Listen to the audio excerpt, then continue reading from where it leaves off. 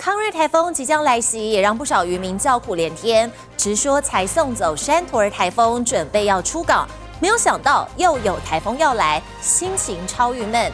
而烦恼的不只是渔民，还包括五月天的粉丝和花莲的观光业者，因为康瑞台风来势汹汹，唱片公司宣布确定取消周末的公益演唱会。不少饭店业者也忙着处理退房的订单。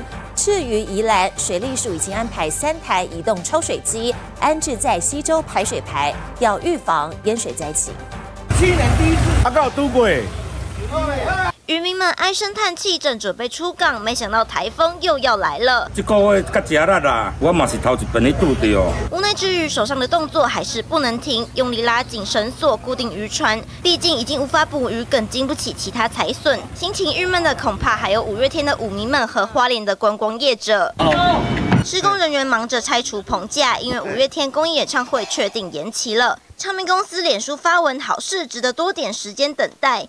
因为康瑞台风来袭，为确保所有人员安全，审慎评估后，三天演出全数决定延期。粉丝难掩失落，而观光业者也是大受打击。啊，目前来说呢，所有花莲旅馆哦都会免费为各位延期定金做使用。旅宿业者提出备案，希望旅客保留订单，不要退房。就算观光已经深受影响，防台准备还是不可轻忽。工作人员急忙修剪路树，预防风雨侵袭。农民也在抢收稻米或者其他农作物，像是三星通等等。另外，宜兰也出动多部抽水机，预防淹水灾情。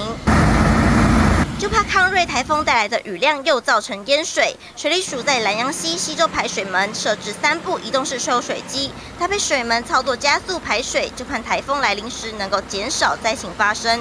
记者综合报道。